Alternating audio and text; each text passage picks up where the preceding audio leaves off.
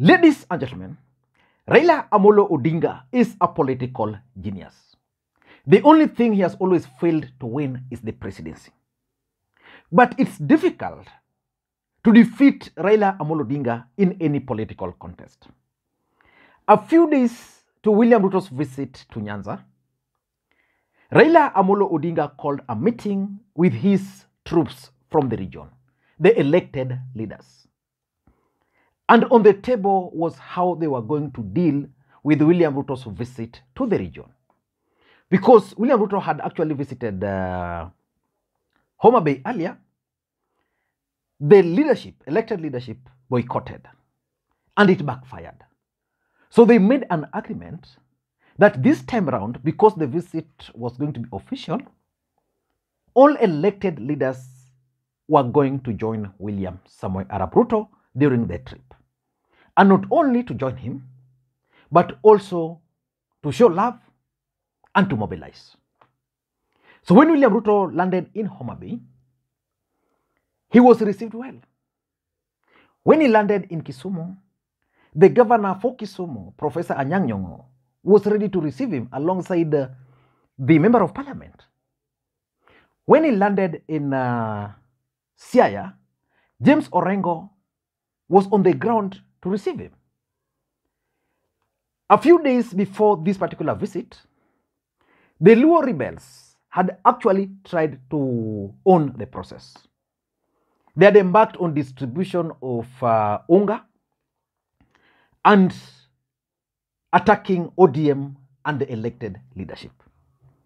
So when William Ruto then finally arrived, he began his journey of the east of the region.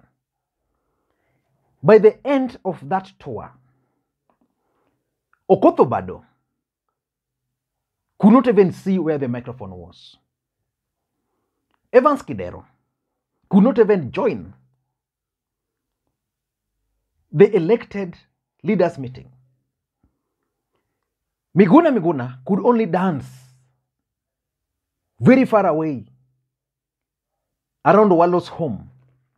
And I was reading uh, some piece of an uh, article which, which appeared in um, one of the newspapers. Let me just get it because I don't want to do a lot of editing. Let me just see it. Okay. There is this thing which is talk of the town. Loyal former MPs ejected. That three former MPs were unceremoniously kicked out of a closed door meeting that President Ruto had with leaders from Homa Bay County during his visit. So embarrassing was the unceremonial exit that one of the former lawmakers who arrived early at Tom Mboya University, where the meeting took place, took place and took and had took his preferred sitting place, waiting for the arrival of the president, was removed from the venue as the meeting was strictly for elected leaders. The other one was told by the police that he was not allowed anywhere near the president. One of those kicked out has lately been throwing barbs at ODM leader. Our snitch described the scene as embarrassing. Now, that is what is captured in that particular story. By the end of William Ruto's visit, the rebels who had hoped to take charge of this program went home with eggs on their face. But how did Raila Odinga manage to lock them out? By the way, in case you're watching this video for the first time or this channel for the first time, please take a second, press that subscribe button. And to those who have already subscribed, I want to ask you for this particular video, just press thumbs up button. That's the best way you can support the channel. Now let us look at, at politics from the face value, what really transpired. Number one, when William Ruto arrived, because of the presence of these elected leaders, he stuck to protocol. And the protocol, presidential protocol, is always very clear that when he lands, the person who is going to take charge of the program is this person, going to give the elected member of parliament, who is going to give it to the, to the women rep, then to the senator who is going to introduce other leaders, then the governor who invites the deputy president if he's there, and then the deputy president hands the program over to the president. So Ruto had to stick to that protocol because of the presence of elected leaders. For example, today William Ruto was in Bomet, and and uh, Nick Salat, who is not uh, who is not elected leader, was allowed to speak. Why? Because that was a political event.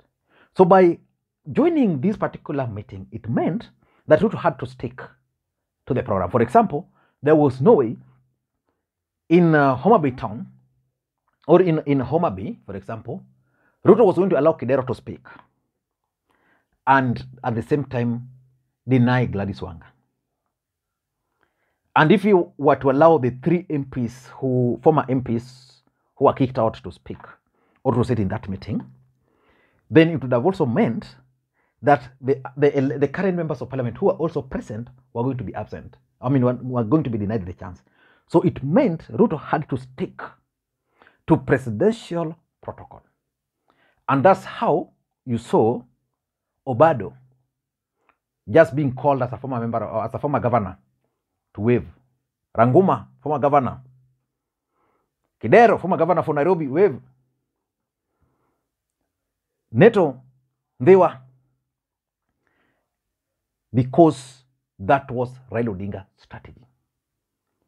Again, number two, the presence of elected leaders there also saved Raila Amolo Odinga from attacks.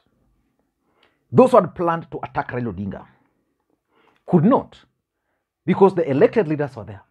So, for example, even if Ruto allowed these former members of parliament, governors to speak, the protocol would have been let the former members of parliament speak, then current members of parliament. So the current members of parliament were going to respond to them. Then you allow former governors of Obado and the rest to speak, they were going to speak. Then the current governors were going to speak to respond.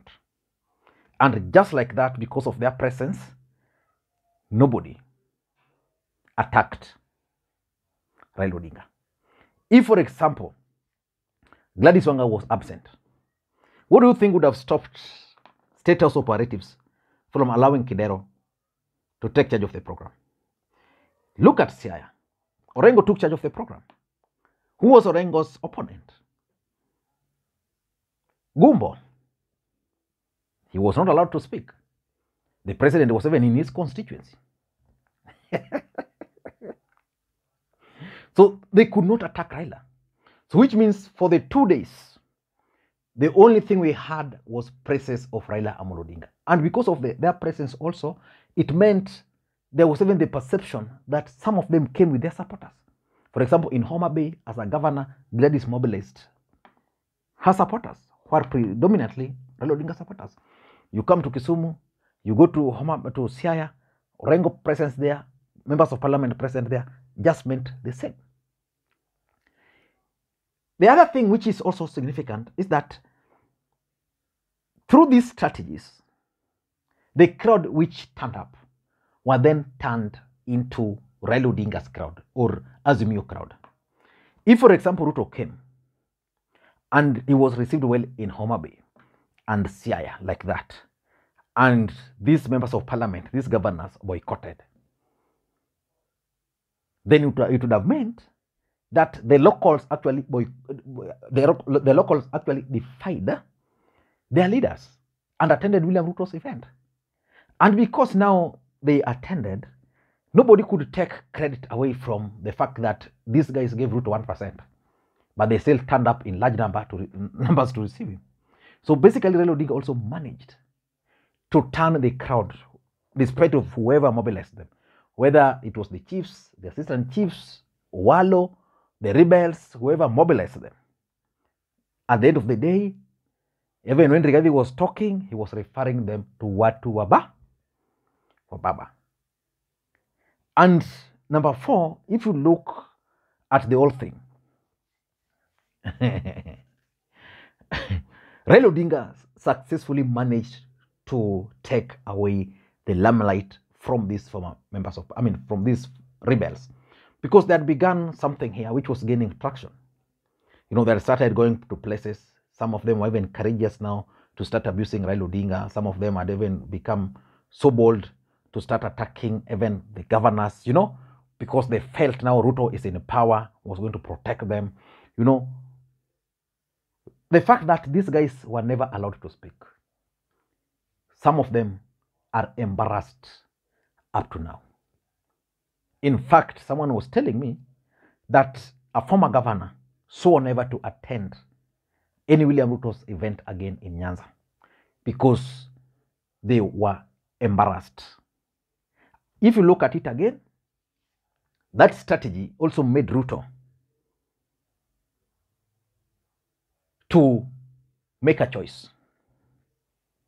It made Ruto to make a choice. A choice of even of going choosing between the elected, the rebels, or working with the elected who are pro Raila Odinga. And if you look at the political currency, it would have been foolish, for example, for Ruto to choose to work with rebels. Because some of these rebels, they have consistently rebelled. They've consistently promised, someone like Ogindo has always promised Ruto to deliver Homa Bay town to him. He promised Uhuru that time that he was going to deliver nothing. People like Ranguma campaigned for Ruto here, promised to, uh, to, to deliver zero. So Ruto had to make that choice that the best strategy is to tone down, work with these elected leaders. Maybe, maybe in future, their supporters can see that I've done something and therefore support me. And lastly, the event was successful, which simply means who takes the credit? Do you credit the success of this event to Ruto? Do you, do you attribute the success of William Ruto's visit to Nyanza to Owalo? Do you attribute it to Ray Omolo?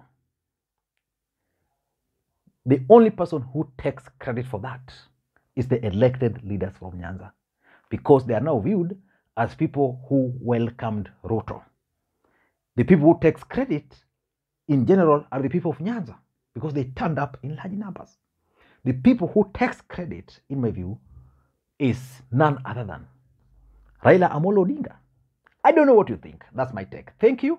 Just by a stroke, Raila Odinga managed to lock these Luo rebels from William Ruto's visit without any single drop of sweat. Bye bye.